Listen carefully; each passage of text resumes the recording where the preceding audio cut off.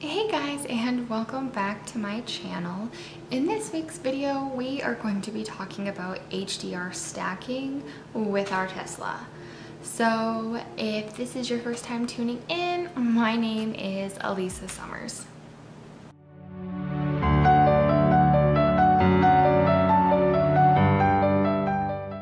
So in a previous video, I did a video over focus stacking. So what focus stacking is, is you take three different pictures of the same exact picture, but at different, different focal points. So you'd have one at like the ground and then the middle and then up at the top.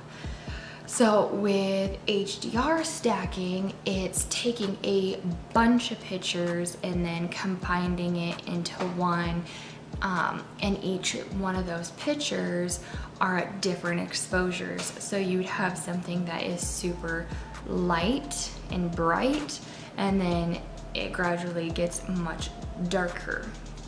So we went out and took a few pictures of our Tesla and of the mountains and I will show you how to do the HDR stacking and the results. So come along and I will get it set up. So the first thing that you're gonna need is you're gonna need Lightroom Classic. Now in this, I like to, when I take my photos off my camera, I like to make a designated folder with all of my pictures in it. And then I like to categorize it. So with this particular video, I have a couple different folders for HDR 1, 2, 3, and 4, I do believe, so that I have a couple of options to choose from for which photos I want to actually do the DHR stacking with. So it makes it a little bit easier to find it when I am in Lightroom Classic. So when you're in Lightroom Classic, you're going to want to upload the photos so here I have the photos that we are going to be uploading. So I have them all marked and then I am going to import them. So then you can see all of the photos that were uploaded. Then you want to go to develop. And then in this, so you can see with the HDR stacking, you go from very bright, very dark. So now what I'm going to do here is I am actually going to select all of these pictures. And then I'm going to go up here to photo and then I'm going to go to photo merge. And then in here, I'm going to go to HDR.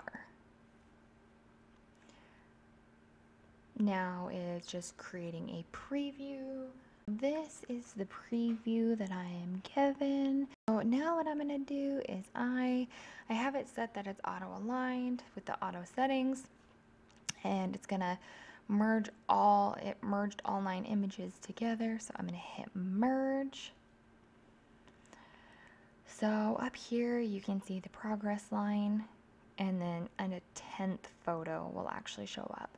And I did shoot these video or these pictures in raw format.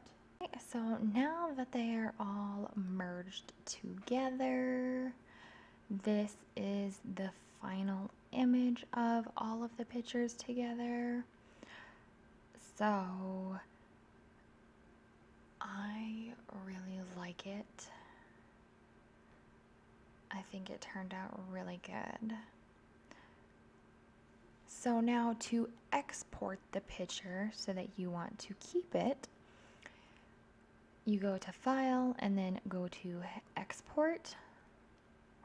And then I'll just have it be up on my desktop. And I, I will post a picture of what it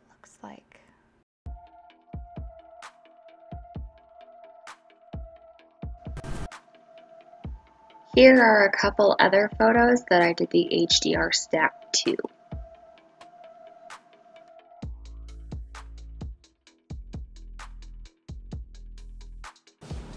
So I really love taking pictures and it's really nice to incorporate the Tesla. It's so different and unique and just something that I like to photograph. And so I really think that the pictures turned out really good and I hope I was able to teach you something along the way. Um, if you haven't already, please give this video a nice thumbs up. And if you haven't, please subscribe to my channel. It would really mean a lot to me. Uh, also, if you do have any comments, please leave the comments down below. I would love to answer any questions that you may have. I don't think I have anything else for you guys, so I hope you have a wonderful weekend and I will see you next week. Bye guys.